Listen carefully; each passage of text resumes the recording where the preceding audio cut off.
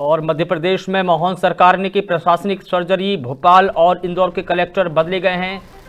संजय गुप्ता को श्रम आयुक्त इंदौर बनाया गया है। इसके अलावा गोपाल चंद्र डाडा रीवा शहडोल संभाग के कमिश्नर बनाए गए हैं। तो मध्य प्रदेश में मोहन सरकार ने प्रशासनिक सर्जरी की है। भोपाल और इंदौर के कलेक्टर बदले गए हैं।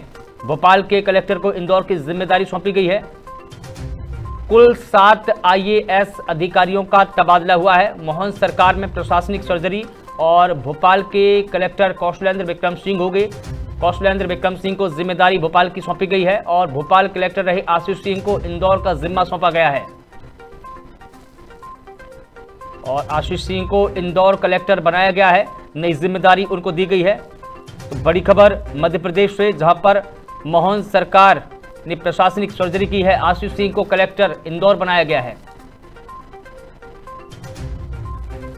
और इलैया टी राजा बने हैं। प्रबंध संचालक पर्यटन विकास निगम में। इसके अलावा श्रीकांत बनौट, विकास आयुक्त, सह संचालक नगर और ग्राम निवेश और रीवा संभाग के आयुक्त अनिल सुचारी को हटाया गया है।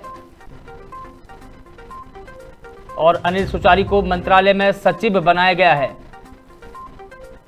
संजय गुप्ता को श्रम आयुक्त इंदौर बनाया गया है। तो ये प्रशासनिक सर्जरी मध्य प्रदेश में लगातार जारी है और गोपाल चंद्र डाडा रीवा शहडोल संभाग के कमिश्नर बनाए गए हैं।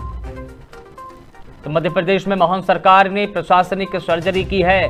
सात आईएएस अधिकारियों के तबादले किए हैं इंदौर और भोपाल के कलेक्टर बदले गए हैं।